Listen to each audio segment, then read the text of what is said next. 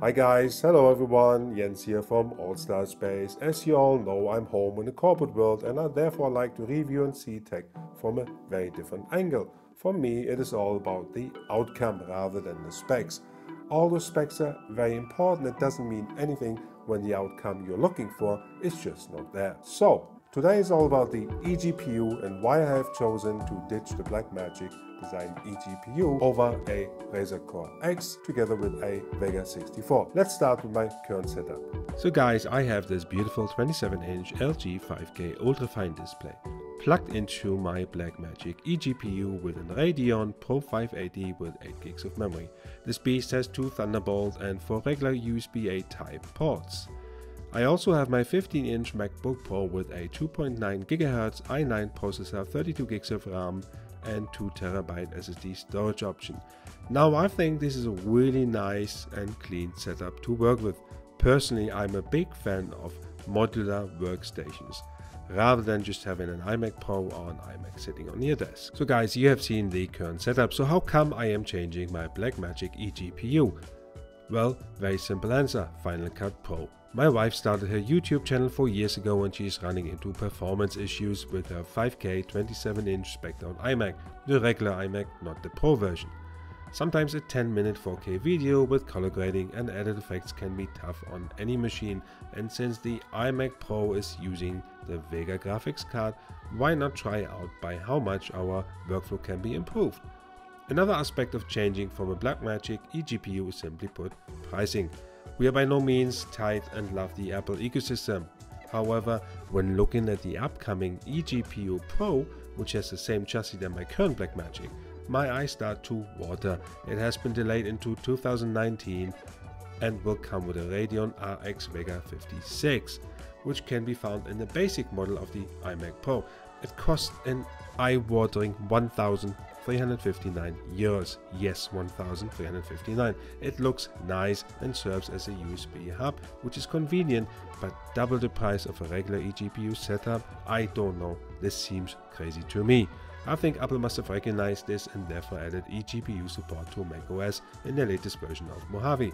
Nice move movable, so here we go. I ordered the Radeon RX Vega 64 with 8GB and Razer Core X external graphic enclosure with a Thunderbolt 3 USB-C and a cable power cord. It is obviously bigger than the Blackmagic, but I'm happy to make this trade-off. The Razer Core X is a separate unit, which is great as this gives me the possibility of future upgrades should this be needed. Once you unbox the unit, all you need to do is remove a plate and pull out the inside of the enclosure.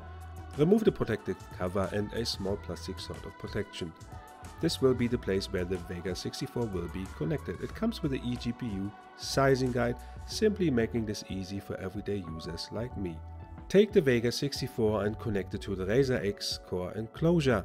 There are only a couple of cables left that needs putting in now, however it can get slightly fiddly with them, nothing major though.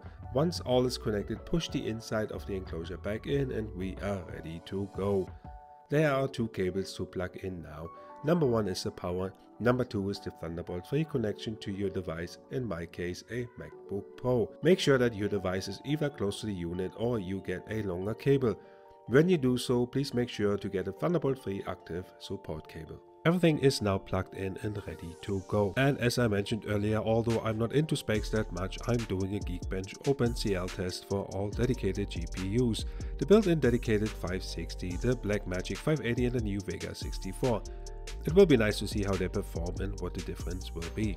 The internal 560 has scored with 62,000, the Blackmagic 580 has a score of roughly 112,000 and the new installed Vega 64 has a score of 142,000. This is roughly a 30% increase over the Blackmagic 580 Pro.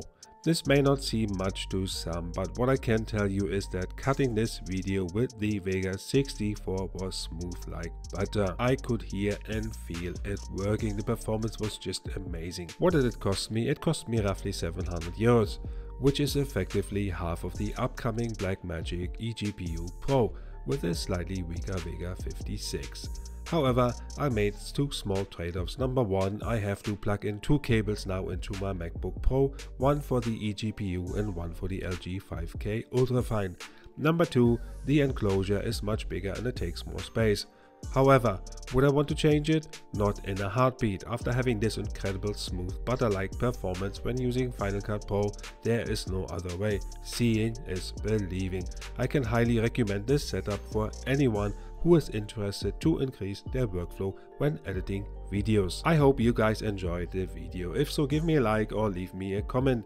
If you loved it, subscribe for more simple reviews that just focus on the outcome rather than on the specs. I hope to see you next time and have a wonderful night. Jens here from Allstar Space. Peace out.